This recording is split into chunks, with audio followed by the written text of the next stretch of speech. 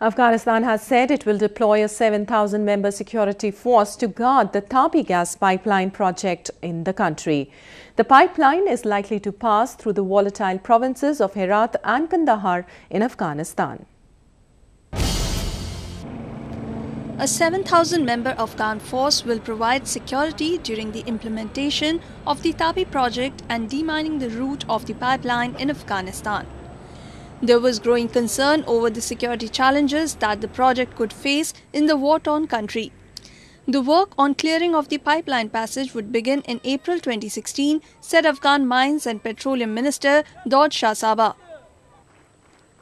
The groundbreaking ceremony of the $10 billion Tapi pipeline took place earlier this December in Ashgabat, some 25 years after the inception of the project.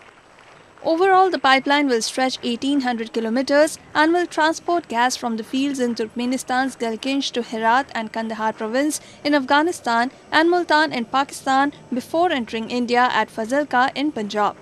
The project, due to be completed by December 2019, would have a capacity of 33 billion cubic meters, which can fulfill the growing energy demands of Asian giants, India and Pakistan.